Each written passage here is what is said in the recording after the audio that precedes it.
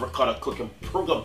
I got a mug, but I just want to quickly say something, guys. If you know what you think about these things back in the days, please write it below in the description. It's a mug from way back when, from you know, I mean, back in the days we used to use mugs. So, guys, it's just a tips and an idea. And if you have a, your idea, please share it with Chef Ricardo get a copy of my cooking book on Amazon and please leave your comments. Thank you so much for watching the cooking program. We got a lot more recipe coming out for you. See you next time. Bye bye.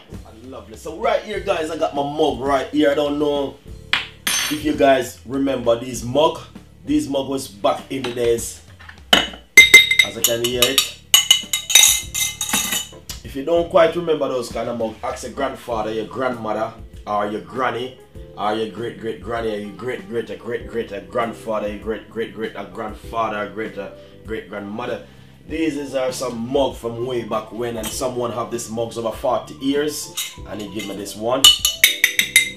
As I can see, got some little one and two chips around it, but I love the idea. It's you know, I'm or if I can have it. It's someone who have the mug, but right here I'm making some ginger and lemon tea right here guys. It's just because of the weather being changing. So you have to change time with the weather. Right here I have a piece of a ginger. And all I need to do is to crush it. Simple. Squeeze it like this. And like this. But please don't do what I'm doing right here guys. If you can't do this you can either cut your ginger into some small pieces like this. If you can do what I'm doing uh, but basically, I'm just gonna simply crush this little piece. I'm making a little bit of ginger tea inside of this mug right here, guys.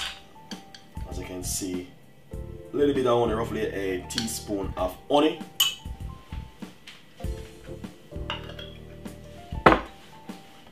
Nice and lovely. Then nice, lovely thick piece of lemon chop it straight inside of it and put some hot water. Nice one.